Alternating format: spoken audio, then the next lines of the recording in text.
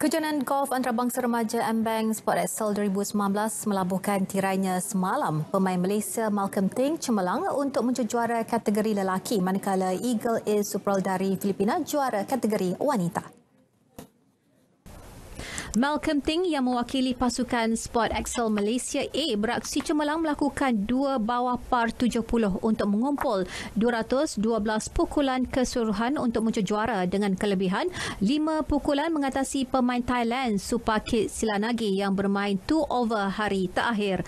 Pemain muda berusia 16 tahun dari Sarawak itu turut menerima biasiswa akademik dan sukan selama setahun dari Kolej Antarabangsa Hill Australia bernilai RM100,000.